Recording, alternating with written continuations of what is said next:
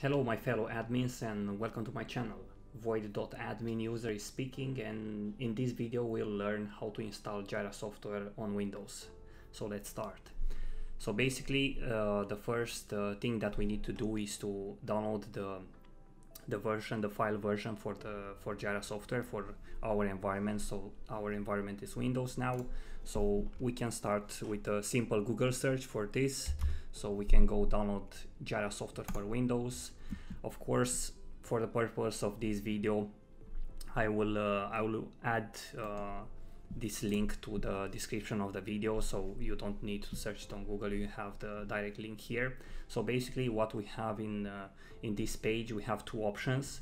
One is for the long-term support release as the Atlassian uh, guys uh, mentioned here and also the latest release. I personally tend to go with the latest release as this uh, offers you like the latest um, features that uh, they uh, de uh, deployed to this release. So I tend to go with this release. But bear in mind if you are trying to mimic an environment that you have I don't know on your job at your job maybe maybe at your job you are using a Jira software that it's 8.13 let's say for example you need to um, to download the older version. So basically here in this uh, older versions uh, you can see the latest uh, release here but on the bottom you can see also for 7.0 and 8.0 and you can show the details here. And in the, this list for example let's say you are looking for 8.13 so you have 8.13 here and you also have the specific 8.13 uh, um, 15 16 17 what do you need? And you need to download this if you want to mimic that environment on your um, local machine. But if you're not trying to mimic and you are trying to go with the latest release you can go with uh, with the latest release from uh, from this page. But what we need to do here is we we need to choose the the file extension and we need it for Windows. So this is Windows 64 bits. So we choose this and we click on download. And now uh, we need to agree with this uh, license agreement and we click submit. And what we uh, what uh, it does it downloads directly um, our extensions that our extension that we need to run in order to install this uh, uh, this Jira software for Windows so basically now it's downloading it takes ages but I actually have it prepared here on my desktop. So you just right click on it and you run it as administrator. And now we need to wait as the installation wizard is preparing. So what we have here is the is the new window for the installation and you just need to click next. Here we have you have multiple options, but I uh, tend to choose the custom install so we click next. Here we have the path. I will just leave it like this. C program files and Atlassian Jira. And we click next. Here I'll uh, leave it like this the same way. And I click next and I need the Jira here. So I click next. So we have a bunch of nexts here. So here we need to use the, like I use the default ports, like I don't want to set a custom value for HTTP or control port. So I will use the recommended one. So I click next here. So this is this comes with the interesting part. So uh, later on, if you want to run this service in the background, so basically if you are restarting your PC or I don't know, you're stopping your PC or just closing your PC and you're just starting on a new day, basically if you close your PC, uh, that Jira service will run in the background if you uh, do this check here.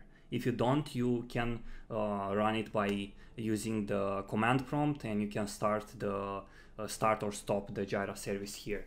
Uh, I personally tend to go with the, um, the manual start of Jira as I tend not to use it daily on my personal PC. So if I'm not using daily, I don't want something to run in the background just to uh, to get uh, to I don't know to eat some memory there. So I usually go with uh, uh not having this uh, as a service in the background. But if you're uh, willing to sacrifice it, and I don't know when you start your PC, you have you can access your uh, local environment, you can do it so.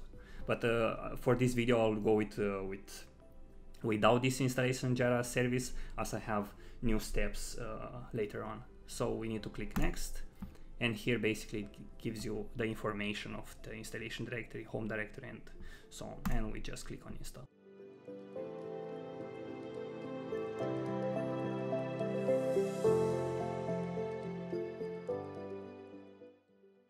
Hey, we have the uh, installation complete and we can click, uh, we can uh, leave this check mark. So now it, it will start basically. So if we click next, the Tomcat server will appear and you will see that the Jira it's starting. So it will have like two more steps in order to to show show it in your browser, but we'll wait here. So it's launching, as you can see in the on the server uh, information and we just launch Jira Software browser. We click finish and here it goes in the local host 8080 as we choose as the normal one. So what I what I will do now is uh, do a fresh installation. So I will just uh, use the setup for me option here. So continue to my Atlassian and here basically uh, I uh, I'm already um, logged into the Atlassian page. So if you're not uh, logged in there or you don't have an account, a new um, uh, a new window will appear. Basically, I will show you on the screen the window that will appear. Basically, you need to uh, log into your Atlassian account, or maybe you want to uh, to sign up for one. So you will have some steps there uh, previous to to this page that I'm showing here. But I'll, I'll also to take a glimpse for you just uh, uh, not to get lost in these steps if you see this this page here and actually for you it's uh, it's uh, requesting your Atlassian account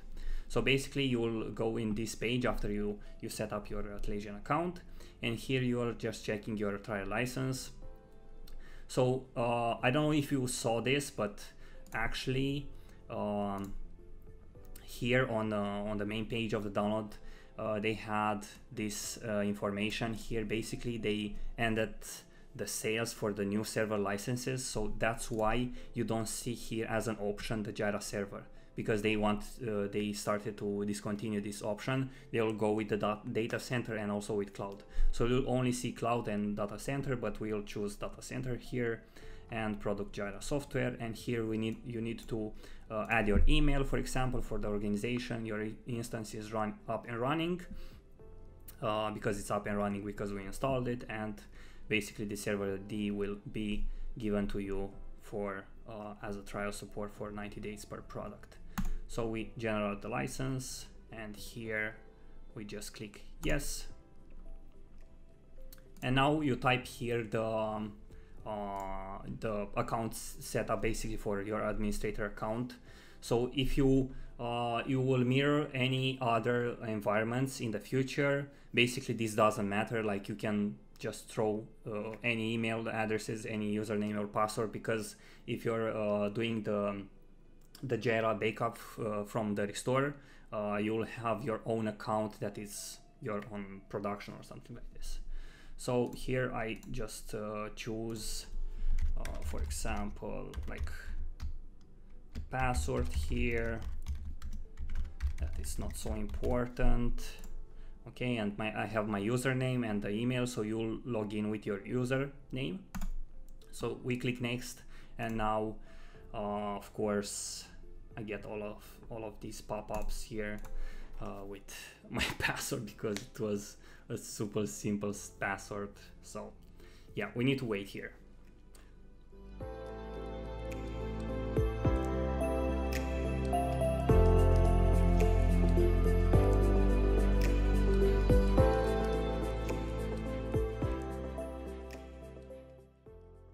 Okay, so now uh, Jira is ready to go. You install it. We are happy and let's uh, get started. So as you can see, uh, now we have like the welcoming page. So you choose your language, you click on continue, and here you can choose your avatar, click next. And now I can create like a project, uh, uh, I don't know, just uh, for the purpose of this video.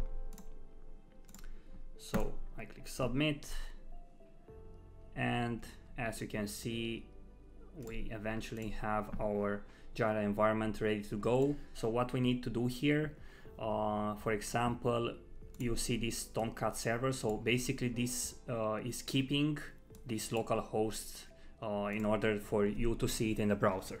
So for example, what we can do now, uh, as you'll do every time uh, when you're starting your PC, if you didn't check that uh, Jira service that runs in the background. So you go, go in the start and you just type uh, cmd, this is a command prompt, and you need to run it as an administration. And here we have the uh, the window that we'll use in order to start this Tomcat server because this was started uh, in the installation wizard when we click start the the Jira software in the in the browser. So we didn't start with the command prompt; it was from the UI of the installation wizard. So what we need to do now is to um, see where we uh, installed this uh, Jira software. So wherever you, uh, whenever you, um, you choose that path there. So for example, I choose it in the in my C drive in program files and here in Atlassian.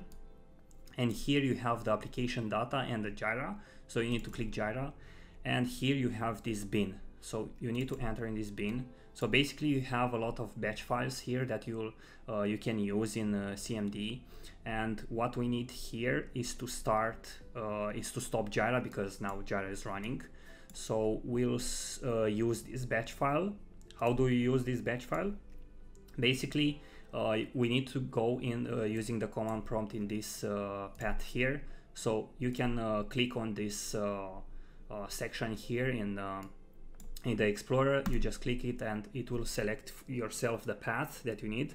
You just hit Control C or just uh, hit copy from here from with the mouse or uh, however you want. So here we need to type CD and uh, you hit a space and after that you paste uh, the, the path for, uh, the, for this uh, bin folder.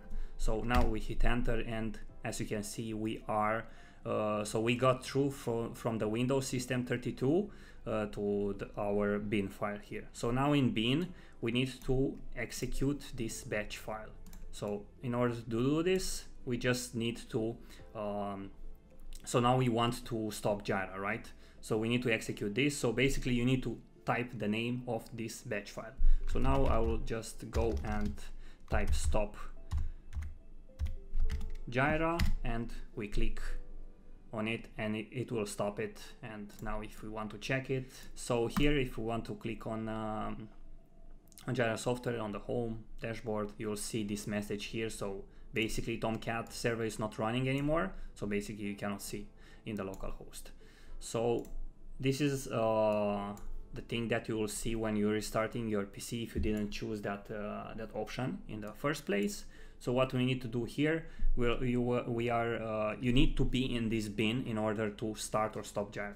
So now we'll start Jira, just hit enter, and as you can see, the command prompt started the Tomcat server, and previously we started this Tomcat server with uh, installation wizard. So as you can see here, now uh, Atlassian Jira is starting up because we just uh, started from the command prompt.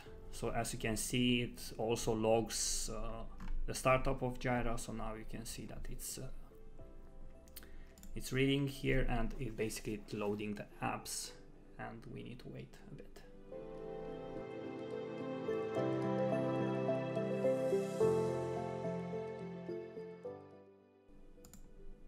So this startup will depend how large is your um, your Jira environment that you need you want to. So basically, if you want to mirror what you have on production, maybe at your job, maybe it has like a lot of projects, a lot of uh, uh, issues there, and it will take some time in order to start up. Even now, it took like two minutes to start up. So, so you need to choose the username and password that you choose when you did the installation. So you need to remember uh, oh my god. Again this thing because my password was too weak. So I don't want to save please. So basically that was it. So uh, this is how you install Jira uh, software on Windows and actually I showed you how to start and stop Jira if you're not checking that uh, Jira service that runs in the background. If you, you want to make your life easier and you just don't want to do this every time, um, you can uh, not you can check that uh, that Jira service and just do it uh, automatically. So yeah, thank you very much for uh, for uh, uh, being here with me, and I hope this will be helpful for I don't know for testing purposes and how you want to do it. And if you like this video, just like it.